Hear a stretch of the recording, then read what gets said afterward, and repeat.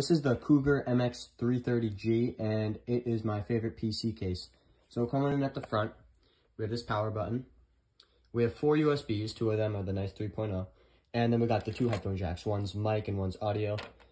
I use this with my splitter for gaming and PC use. Got a reset button right here, and we got these light indicators. Very clean setup, nice intake right here. You could put two 120 millimeter fans. That's what I have. Coming in at the top, we have this nice removable, removable vent. It's magnetic, fits on nice. Again, room for two more 120 millimeter fans. Full tempered glass side panel with thumb screws. Very easy to put on and off. It's a mid-tower case, so you have a lot of room in here.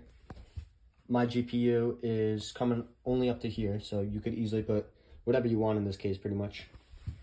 Coming in at the back, another spot for a 120 millimeter fan, and looks pretty nice from the back.